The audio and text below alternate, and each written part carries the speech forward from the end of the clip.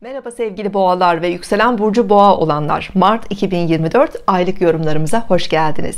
Sevgili boğalar Evet Mart ayı ve Nisan ayı 2024'ün yine önemli aylarından tutulmalar meydana gelecek ve bu tutulmalar önümüzdeki 6 ayı da önemli ölçüde etkileyecek Güneş 20 Mart'a kadar balık burcunda olacak sizin 11. evinizde olacak sevgili boğalar ve 10 e, Mart'ta balık burcunun 20 derecesinde yeni ay doğuyor her yeni ay biliyorsunuz yeni olasılıkları, yeni başlangıçları gündeme getiriyor. Bu yeni aydan güzel etkiler alıyorsunuz. 11. yeni ay evli yeni ayları keyifli, e, umut vadeden, e, sizi cesaretlendiren yeni aylardır. Geleceğe dair yeni projeleriniz olabilir, yeni başlangıçlar yapabilirsiniz.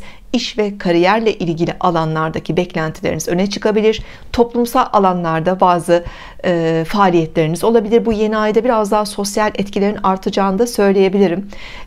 Özellikle 10 Mart'tan itibaren Venüs'ün de 12 Mart'ta balık burcuna geçişi sizin için biraz daha eğlenceli, sosyal, keyifli zamanları öne çıkarıyor. Arkadaşlarla daha fazla olabilir, birlikte olabilir, yeni çevrelere girebilirsiniz, ee, yeni tanışmalar olabilir. Özellikle ekip çalışmaları, organizasyonlar, grup faaliyetleri ve benzeri alanlarda çok daha aktif olabileceğiniz bir aydasınız. Lütfen kişisel doğum haritalarınıza bakınız. Güneşiniz ve yükselen burcunuz 20 derece ve yakınlarındaysa bu yeni aydan çok daha destekleyici etkiler alabilirsiniz. 20 derece ve yakınlarında değişken burçlarda gezegenleriniz bulunuyorsa yeni ayın etkileri yine sizin için güçlü çalışabilir, önemli olabilir. Evet, bu yeni ay 10 Mart'tan itibaren 25 Mart'a kadar olan süreçte etkilerini yavaş yavaş hayatımıza dahil edecek. Ve bu ay yine çok önemli bir göksel görünüm var. Ay düğümleri biliyorsunuz koç terazi aksında. Sizin 6 ve 12. evinizde. Zaten tutulmaları da buralarda yaşıyoruz. Ve Şiron e, astrolojide önemsediğimiz mitolojide de yaralı şifacı olarak karşımıza çıkan e, Şiron bu ay kuzey düğüm yönünde önemli bir temas yapacak ki bu az rastlanır bir e, görünüm 50 yıllık 55 yıllık bir döngüden bahsediyoruz özellikle 12. evinizdeki kuzey düğüm yönündeki Şiron kavuşumu bilinçaltınızın derinliklerine geçmişle ilgili konulara sizi biraz da karmik etkiler var tabii ki burada yoğunlaştırabilir kuzey yönlü olduğu için aslında önümüzü açan bize kapılar açan bir e, kavuşum bu. Zaten Şiron'un sembolü bir anahtardır. Haritamızın kilitli noktalarını açacak bir anahtar gibi. Yani bu kendi içimizdeki gizli bir şeyleri keşfetmek olabilir. Sorunlarımızı eksiklerimizi hatalarımızı yaralarımızı fark edip bunları şifalandırmak tamamlamak için bazı e, önemli hayatımıza gelen e, ipuçları olabilir. E, bize yardım edecek bir rehber olabilir bir doktor olabilir. Sizin belki de eşinizin özellikle eşinizin de çünkü 12. eviniz eşinizin e, sağlık sorunları ve benzeri konularını ya da işle ilgili problemlerini de içerebilir. Bu alanlarda bazı çözümler bulmanız rehberlikler almanız e, keşifler yapmanız da mümkün görünüyor. E, bunun için birazcık belki ayın belirli bir bölümünde kendi iç sesinizi dinlemeniz, yalnız kalmanız, biraz inziva arayışında olmanız mümkün. Bu kavuşum 5, 6, 7 Mart gibi kesinleşecek. Ama Mart'ın genelinde de etkilerinin devam edeceğini söyleyebilirim. Özellikle geçmişle ilgili bilinçaltınızda tuttuğunuz duyguların, düşüncelerin fark edilmesi, bu bir bilinçaltı çalışması, regresyon çalışması, terapiler, işte arınma çalışmaları olabilir. Ee, ve hayatınızda önemli farkındalıklar da yaratabilir. Maneviyatla da çok ilgilidir Şiron. Ee, özellikle biraz manevi yönlerde derinleşmeler olabilir ay genelinde sizin için. Burada da önemli keşifler yapabilirsiniz. Buna zaman ayırmanızı da yine tavsiye ederim. Ve ayın 20'sinden itibaren Güneş Koç burcuna geçecek. İlkbahar ekinoksu ile beraber ilkbahar mevsimi de başlıyor. Ve astrolojik olarak da yeni yıl 20 Mart'la birlikte başlıyor. Evet e, ve 25 Mart'ta önemli bir dolunay var. 5 derece terazi burcunda dolunay ve aynı zamanda bir ay tutulması yaşayacağız.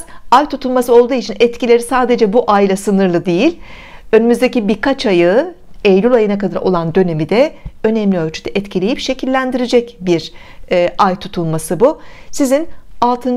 E, evinizde meydana gelecek sevgili boğalar. Özellikle 6. ev günlük yaşamınızın detayları alışkanlıklarınız genel sağlığınız iş ve mesleki konular evcil hayvanlarınız yanınızda çalışan kişilerle de ilgilidir. Dolayısıyla biraz geniş kapsamlı bir alan. Aslında düzenle alakalı. Güney yönlü bir tutunma olduğu için burada hayatınızda biraz düzenlemeler yapmanız gerektiğini işaret ediyor. Zararlı bir şeyleri mesela ayıklayabilirsiniz. Sizin için doğru olmayan bir işte çalışıyorsanız ayrılabilirsiniz. Ya da e, sağlığınızla ilgili ihmalleriniz varsa bunları keşfedip yani iyileşme yolları arayabilirsiniz. Bununla birlikte yanınızda çalışan kişiler hizmet aldığınız kişiler olabilir buralarda dönüşümler olabilir. Bir yardımcı da bulabilirsiniz ya da bir yardımcınızla asistanınızla yollarınızı da ayırabilirsiniz. Ve evcil hayvanlarınızı da etkileyen bir alan. Evcil hayvan sahibi olabilirsiniz ama tabii ki biraz hem kendi sağlığınıza düzeninize hem de evcil hayvanlarınızın sağlığına dikkat etmekte fayda var. Çünkü sağlık ve şifa ile ilgili bir dönem. Bu tutulma ay tutulması duygusal olarak bizi etkileyebilir. Eğer ihmal ettiğimiz konular varsa bunlar görünür hale gelecektir ve bizi biraz duygusal olarak da zorlayabilir. Dolayısıyla evcil hayvanlarınızla ilgili konularında önemli olduğunu ve genel sağlığınızla ilgili konularında önemli olduğunu söylemek istiyorum. Herkes aynı şekilde etkilenmiyor tabii ki. Lütfen kişisel doğum haritalarınıza bakınız. Önce burçlarınız daha fazla etkilenecek ve sizin kişisel doğum haritanızda önce burçlar koç yengeç terazi ya da oğlak bunların 0 ile 10 derece arasında kişisel gezegenleriniz bulunuyorsa o zaman bu e, tutulma sizin için daha etkili çalışacaktır daha önemli olacaktır. Tutulma sırasında yönetici gezegen Venüs balık burcunda ve Jüpiter'le de çok güzel bir açıda. Jüpiter de zaten boğa burcunda biliyorsunuz. Yani boğa burçları için aslında bu tutulma çok yardımcı daha şanslı ve verimli bir tutulma. Ee, yani dolayısıyla bu tutulmada önemli yardımlar destekler alabilirsiniz arkadaşlardan yana kısmetinizin olduğu bir dönem. Hayatınızda işte bir sağlık sorunu varsa bunu iyileştirmek adına verimli bir dönemdesiniz. Veya eşinizin bir sorunu var onu çözmek adına yine verimli bir dönemdesiniz. Yani gerekli olan destekleri yardımları alabileceğiniz bir dönemdesiniz. Daha önceden başlamış girişimleriniz varsa örneğin geçtiğimiz Eylül ayı Ekim ayında başlamış bir iş bir proje. Hani bunun sonuçlarını alıp e, bazı amaçlarınıza da ulaşabileceğiniz bir dönemdesiniz.